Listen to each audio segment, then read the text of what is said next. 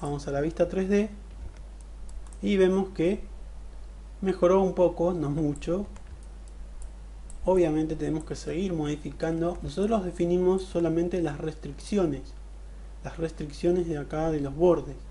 Ahora toca acomodar todo lo que está acá adentro. Que eso es lo más trabajoso. Esto vemos que en un par de minutos ya lo tenemos. Así que lo que vamos a hacer es para tener el espacio V y la vista 3D al mismo tiempo vamos a utilizar esta, esta opción que dice split plane. Hacemos clic y acá en esta vista lo que vamos a hacer es vamos a cargar la vista 3D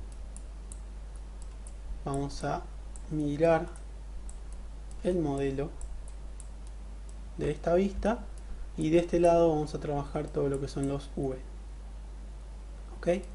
Bien vamos a utilizar por ejemplo para comenzar a mover los, los vértices presionamos la tecla shift el botón del medio del mouse. Con esto podemos mover todos los vértices que están dentro del círculo. Shift y el botón del medio del mouse. Si queremos agrandar el círculo presionamos el botón mm, presionamos el botón más eh, el botón más perdón el botón más no es el atajo de teclado shift y el botón igual. Con esto lo que va a hacer es va a agrandar el, el círculo y el botón menos del teclado numérico reduce este círculo vamos a agrandarlo un poco y vamos a comenzar a mover todo lo que está acá adentro para tratar de acomodarlo siempre fíjense en la vista 3D qué es lo que están cómo va quedando nuestro nuestro modelo ok fíjense bien al mover vértices mejor dicho al mover V's de este lado cómo va quedando en el modelo 3D una vez que la textura está aplicada sobre sobre el modelo. Vemos que los ojos acá están arriba, y en la textura están un poco más abajo, así que lo que tenemos que hacer es mover toda esta parte hacia abajo. Vamos a subir un poquito más el tamaño de esto y vamos a ir bajando hasta que esta parte coincida con el ojo. Acá lo que podemos hacer es fijar estos, estos vértices. Vamos a agarrar por ejemplo este y los vamos a ir acomodando al contorno del ojo a lo que vemos en la, en la imagen de fondo y estos, estos puntos de acá los podemos también fijar. Con la tecla P vamos a ir poniendo lo que serían ganchitos para que no se muevan una vez que hagamos la optimización. Presionamos la tecla S del lado opuesto y presionamos la tecla F. Vemos como de a poco ahora los ojos quedaron en su lugar. Vamos ahora a trabajar con la boca. Vemos que la boca acá está muy arriba y acá en la imagen se ve muy abajo acá si ustedes no ven correctamente a ver vamos a vamos a borrar esto por el momento. Si ustedes eh, quieren ver un poquito mejor digamos que no distingue muy bien la imagen de fondo pueden trabajar con este deslizador del trace. De esta forma podemos hacer completamente transparente la imagen o podemos visualizarla. Acá la vemos lo mismo con la geometría. La geometría podemos ocultarla o podemos mostrarla. Esto está en código de error. Este error, como les dije en el otro video, quiere decir que lo que está en verde está correctamente, lo que está en, en azul está comprimido, toda esta parte es geometría que está comprimida y todo lo que está en rojo está, digamos, estirado son polígonos que se van a ver estirados en, la, en el modelo 3D. entonces con este deslizador que sería el segundo desde el trace podemos controlar la, transparencia de, de la geometría o de los V's. Vamos a dejarlo de esta forma. Y vamos a bueno vamos a poner el split plane de nuevo vamos a la vista 3D split plane. Ahora sí. Y de este lado vamos a poner la vista V. Bueno acá me quedó al revés. Vamos a ir a la vista 3D de este lado. Activo esta ventana. Esta ventana va a estar activa siempre y cuando el color se ponga de color verde como vemos acá. Selecciono esta ventana y elijo V vamos a mover todos estos vértices hacia abajo con la tecla Shift y el botón del medio del mouse. Vamos a ir moviendo todo esto hasta que quede aproximadamente en su lugar. Vamos a ver acá cómo va quedando esta parte acá eh, podemos trabajar con nosotros dijimos al principio que este era un modelo de subdivisión. Entonces si queremos verlo como como con nivel de subdivisión presionamos la tecla S. Y vemos que queda esta cosa. Vemos que todavía falta trabajar sobre esta parte.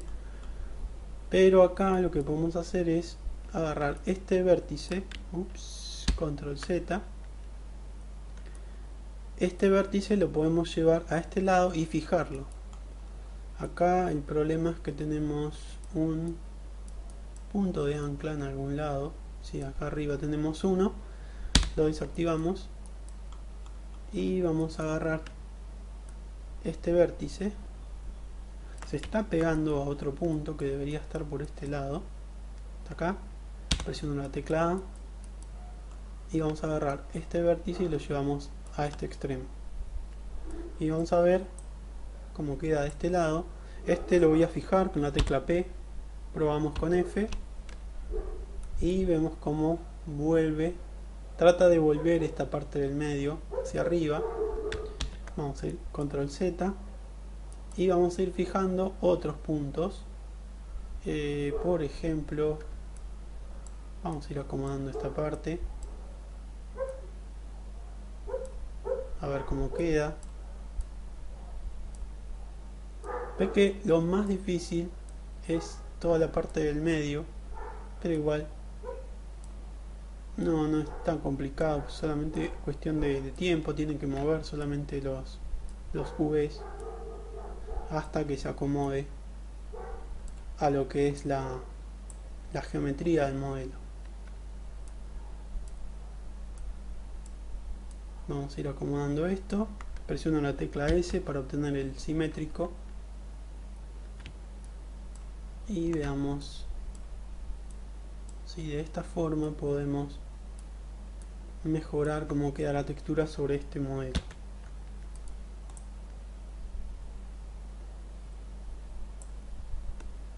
Acá vamos a tener que continuar. Cuando yo acerco este vértice al otro, vemos como acá se produce un estiramiento. Entonces lo que tengo que hacer es separarlo. Esto es lo que me marca el código de error. El código de error, como les dije antes, todo lo que está en rojo se va a estirar. O sea, esto, esto de acá, cuando reciba la textura de la imagen, lo que, va a lo que va a aparecer es que se está estirando esa parte de la imagen. Y todo lo que está en azul es que se va a comprimir, que es justamente la parte de la nariz. Si vemos la parte de la nariz, está toda, eh, toda comprimida esta textura. Necesita más espacio estos polígonos. Vamos a vamos a tratar de darles ese espacio que necesitan vemos que este polígono se va poniendo de color verde esto, quiere, esto es una buena señal puesto que la textura en ese caso no se va a deformar y esto de acá lo vamos a ir levantando hasta que quede de color verde. O aproximadamente quede de color verde.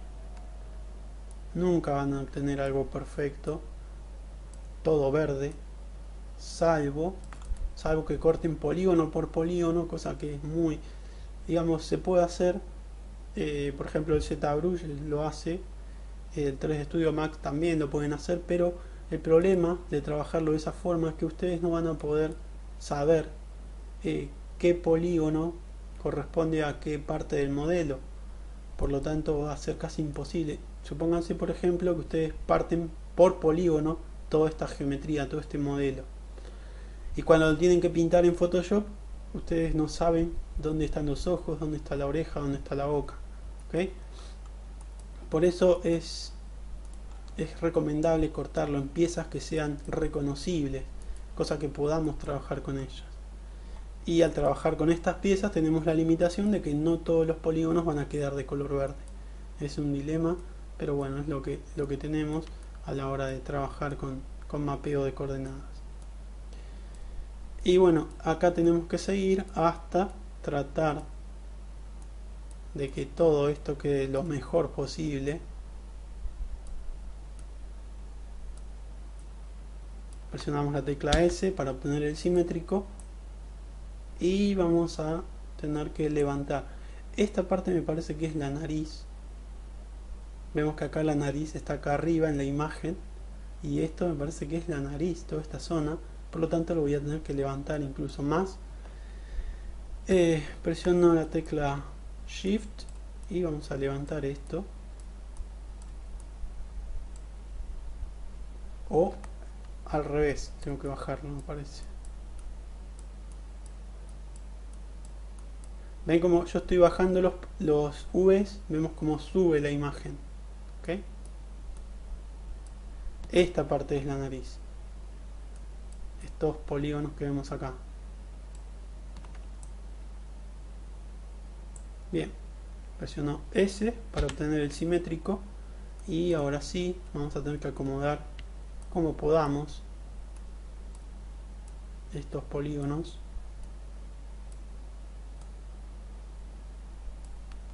Presiono la tecla S para obtener el simétrico.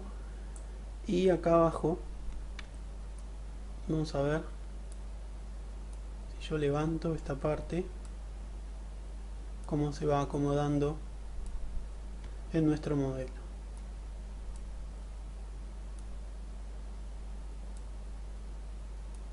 ahí va quedando un poco mejor presiono la tecla S vemos cómo vamos a ir acomodando todo lo que es la textura que teníamos sobre el modelo 3D trabajando pura y exclusivamente con el mapeo de coordenadas.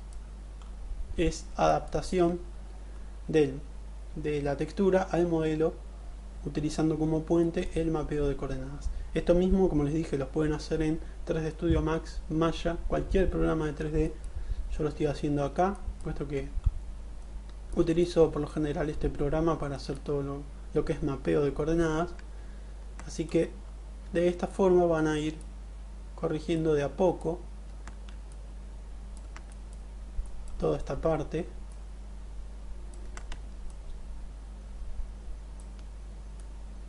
hasta obtener un resultado decente obviamente quizá la textura no quede del todo bien incluso trabajando acá tratando de acomodarlo lo mejor posible. Puede que no quede del todo bien pero ustedes pueden retocar la imagen después en Photoshop para, para tratar de mejorarlo. Y eh, no se olviden también que tienen que exportar el modelo con este mapeo de coordenadas, puesto que si no, si ustedes, eh, si ustedes tienen, tienen el modelo pero no tiene mapeo de coordenadas, no tiene este mapeo de coordenadas que hicimos acá, y después le aplican la textura, esa textura obviamente no va, no va a coincidir. Por lo tanto, tienen que exportar el modelo del V-Layout con este mapeo de coordenadas que estamos retocando. Justamente estamos haciendo eh, este mapeo de coordenadas adaptándolo de alguna forma a la textura. ¿Ok? Bien, vamos a continuar. Acá donde se pone en rojo quiere decir que necesita más espacio este polígono. De todas formas vamos a levantar un poco más. Este está en verde. Vamos a bajarlo. Lo ideal es que todos queden de color verde cosa que no, no va a quedar así no, no vamos a poder conseguirlo pero eh, tienen que tratar de evitar distorsiones muy groseras. Por ejemplo acá en el labio vemos que que quedó toda la parte de la textura dentro de la boca así que esa parte sería esto me parece. O este de acá me parece que es.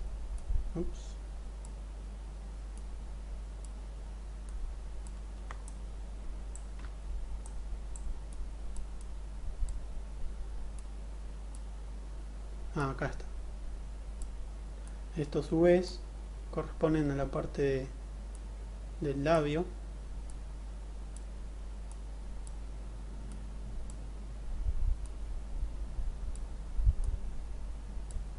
Presiono S. Y de esta forma, como les dije antes, vamos a ir corrigiendo todo lo que son los, los problemas que encontremos. Por ejemplo, acá en la parte de atrás vemos que quedó bastante bien incluso aunque se nos haya movido estos puntos de acá esto después lo podemos alinear correctamente como les mostré antes con puntos de ancla con puntos con la tecla S para definir líneas rectas. Y vemos que la parte de atrás quedó bastante bien acá me quedó una línea que podemos una vez que, que alineemos correctamente estos puntos bien pegadito al borde de la textura esta línea debería desaparecer o si no después la pueden retocar en Photoshop. Y bueno básicamente así es como podríamos comenzar a adaptar una textura que ya existe en un modelo. Vamos a ver las orejas. Ups. Eh, control Z. Presiono shift botón del medio del mouse y esta parte sería toda la parte de las orejas que las vamos a tratar de adaptar a la imagen que vemos acá de fondo. Podemos agarrar eh, directamente los Vs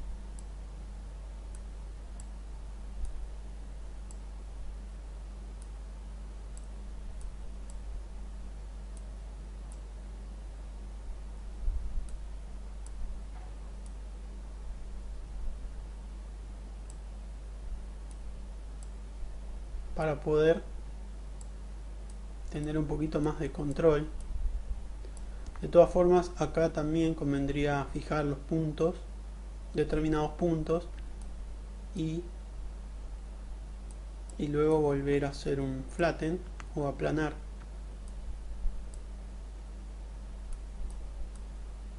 Para obtener un resultado mejor Obviamente no, no conviene mover solamente un punto, sino que conviene mover todo lo que está alrededor para que no se distorsione lo demás.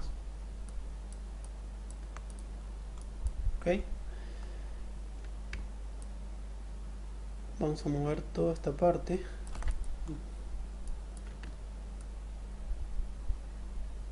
Lo que estoy haciendo ahora es presionando Control Shift para mover toda la zona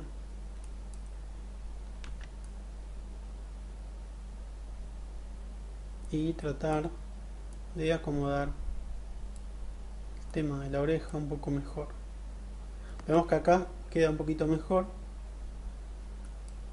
y acá ya podríamos comenzar a fijar algunos puntos. Por ejemplo este con la tecla P este punto de acá. Vamos a fijarlo acá con la tecla P y